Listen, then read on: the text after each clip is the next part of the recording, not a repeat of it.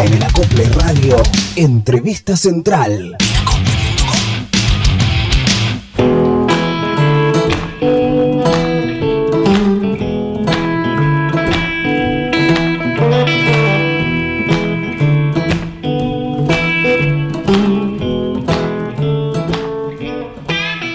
Lo que suena así tan, tan country, tan lindo, se llama Forastero.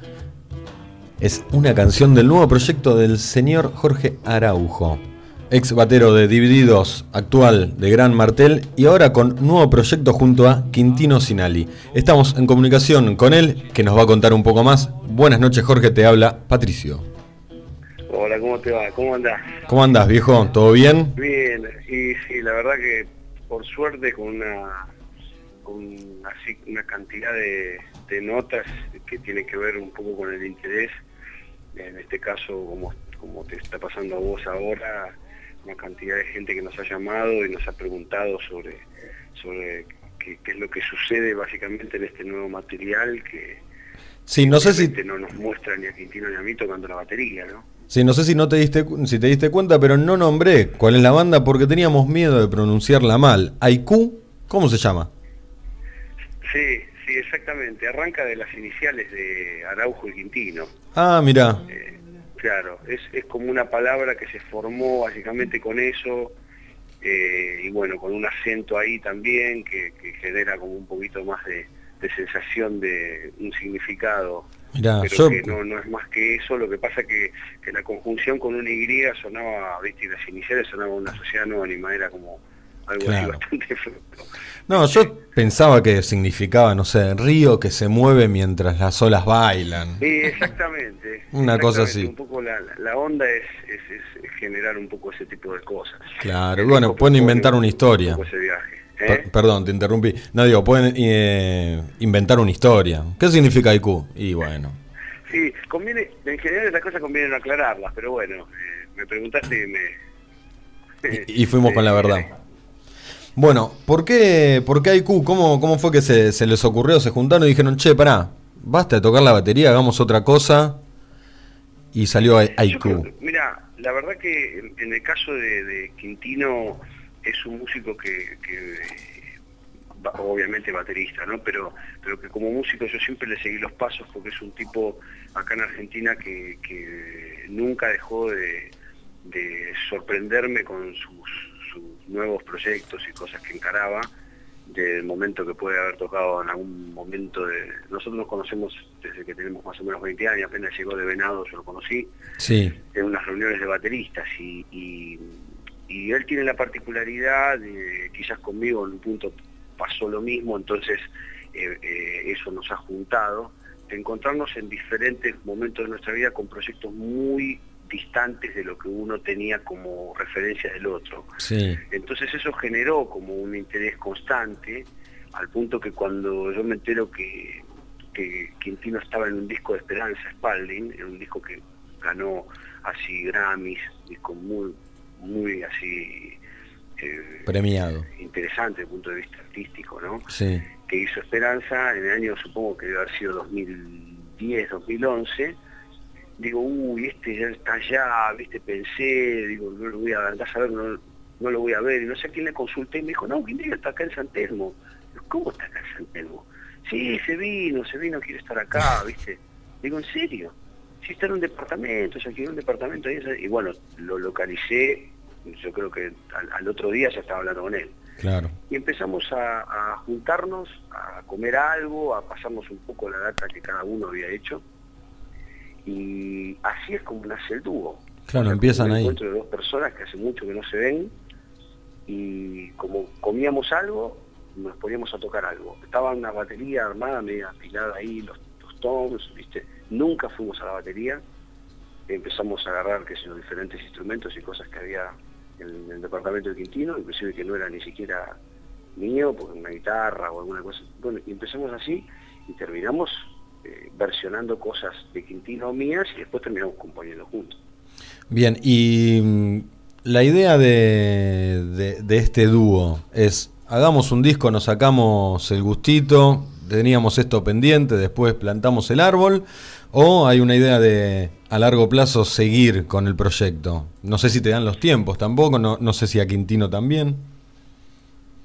Mirá, eh, eh, como nunca nos planteamos, eh, viste, si, íbamos a grabar o no íbamos a grabar, en un, momento tuvimos un ofrecimiento muy concreto que, aparentemente se pasó para el año que viene, pero que nos retuvo un poco a la hora de grabar, que fue lo de hacer un DVD en vivo en Chile. Íbamos a hacer una gira por Chile y vamos a terminar en Santiago grabando en una universidad de estudiantes ahí en Santiago de Chile, y eso lo iban a documentar, ¿no? Entonces íbamos a hacer un DVD, esto ya estaba muy, muy avanzado, pero después se corrieron los tiempos porque la persona que lo iba a organizar terminó teniendo que organizar unas cosas allá muy, muy importantes ahora a fin de año y se pasó para el 2014. Mm. Esto lo que hizo fue que nosotros nos quedamos con un montón de cosas porque ya veníamos programando y el DVD no sabía la comunicación de esto, porque imagínate que vos lo que me estás preguntando ahora son cosas que nosotros hace dos años que venimos haciendo, pero que obviamente que la gente no lo conoce, porque nosotros venimos tocando, pero venimos tocando por diferentes puntos de nuestro país y a veces, aún, aún no sé, shows recientes, la gente se sienta y espera ver dos baterías. O sea que Vengo a ver un, doble batería, vamos, a mover la cabeza y de repente... Claro, viste, dos cosas que lo relacionan, tanto a Quintino como a mí, son veintipico de años de, carrera tocando la batería, entonces obvio que va a ser difícil que no te relacionen con eso, lo que sí está bueno es que si vos editas un material o lo grabás, lo plasmás en una grabación, después lo que, lo que sucede es que si eso va acompañado de un arte de tapa, como está ahora el diseño de Gastón, que es bárbaro, porque la verdad que el tipo eh, eh, agarró y como de alguna manera resumió en un bicho, que no sé si es una especie de rana o escarabajo, eh, que de alguna forma, si eso ustedes lo tienen, tienen en internet, fíjense, es como un bicho que está armado con todos los instrumentos que nosotros tocamos. Ah, mira, yo vi el bicho, pero no, no dilucidé eso. Ahora lo voy a observar con atención.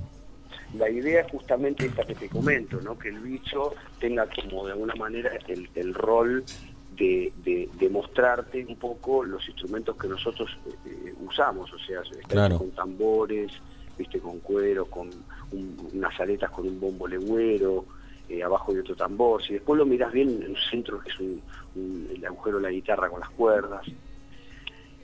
Eso, por, ejemplo, la verdad que ya hace rato que venimos, viste, como mostrando desde hace una semana más o menos, 10 días que, empezó a salir el arte de tapa, antes que saliera el disco obviamente, a, se generó como una gráfica a raíz de eso y, y nos estaba eh, está comunicando bastante bien esto que te estoy comentando, ¿no? Sí. Que, no tocamos batería, sino que es una, cuestión acústica. Claro. ya, desde, desde, el arte, arte de tapa, bueno, como dar una, una introducción a lo, a lo, que viene. Y el tema de mm, componer letras, ¿quién se encargaron los dos? ¿Vos ya habías laburado en, en composición de letras? ¿Cómo es eso? Mira, yo con Gran Martel la verdad que yo componer no dejé nunca, lo que sí no, durante muchos años no canté, yo dejé de cantar a los 18 años, 19 años, desde los 8 a los 18, 19 canté y toqué la batería o la guitarra. Sí. Eso no lo conoce mucha gente porque la verdad que fue un trío, eh, viste, trío de rock que tenía en la zona, digamos, del oeste, con dos músicos más, que ahora uno vive en España y ese, ese trío cuando se disuelve, o sea, yo inclusive toda esa época la, no la pasé muy bien cantando y tocando la batería, ¿no? Mm. Eh, entonces durante 20 años dejé de hacerlo. Eh, así que retomar el canto lo retomo por Gran Martel, ¿no? O sea, el grupo propone una situación para mí ya conocida, que era la de cantar desde la batería. No, no tomé conciencia en ese momento que iba, que estaba volviendo a hacer algo que había dejado hace tantos años y que nunca entendí la razón por la cual lo dejé hacer, pero la verdad es que tampoco lo pensé mucho, ¿no? Y en el caso ya de Haiku con Quintino, yo creo que es directamente el canto y, la percusión, o sea, es como todavía remontarme más a mis orígenes, que es como yo me, de alguna manera me conecté con la música al principio cuando era muy chico, que era tocando cacerolas y cantando.